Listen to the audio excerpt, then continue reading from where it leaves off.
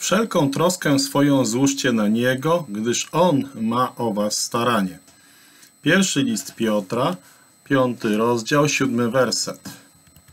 Nie troszcie się o nic, ale we wszystkim w modlitwie i błaganiach z dziękczynieniem powierzcie prośby wasze Bogu. Pierwszy list do Filipian, czwarty rozdział, szósty werset. Pokój dzięki zaufaniu.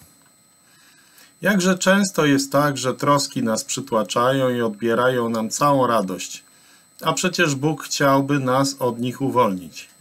Jego wolą jest, abyśmy nie zadręczali się zmartwieniami, lecz Jemu oddali je w modlitwie i tam też je zostawili. Dlatego Piotr mówi, wszelką troskę swoją złóżcie na Niego. Paweł z kolei pokazuje nam, co stanie się, gdy rzeczywiście to uczynimy i z wiarą oddamy Bogu wszystkie nasze troski. A pokój Boży, który przewyższa wszelki rozum, strzec będzie serc waszych i myśli waszych w Chrystusie Jezusie. Jak uczy nas list do Filipian, czwarty rozdział, siódmy werset.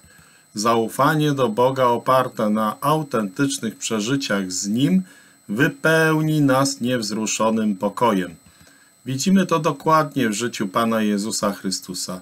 Gdy podczas szalejącego sztormu woda zalewała łódź, w której się znajdował, on spał spokojnie w tylnej części na wezgłowiu, ponieważ ufał Bogu bezgranicznie we wszystkich okolicznościach.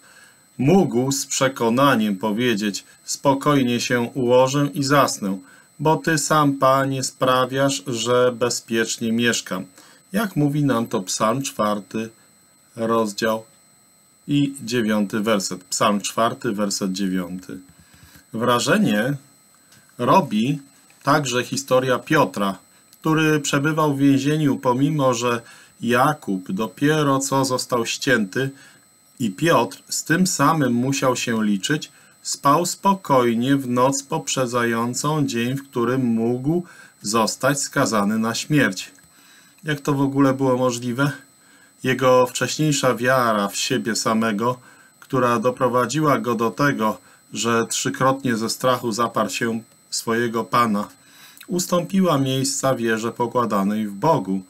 Jest to piękną ilustracją tego, jest to piękna ilustracja tego, o czym pisze Izajasz. Temu, którego umysł jest stały, zachowujesz pokój, pokój mówię, bo Tobie zaufał.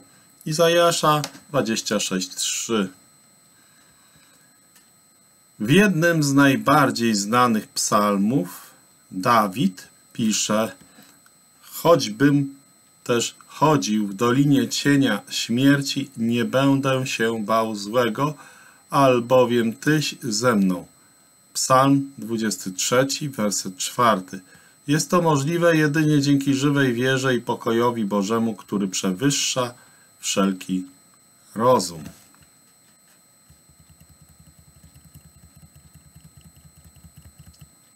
Wszelką troskę swoją złóżcie na Niego, gdyż On ma o was staranie. Nie troszcie się o nic, ale we wszystkim modlitwie i błaganiach z dziękczynieniem powierzcie prośby wasze Bogu.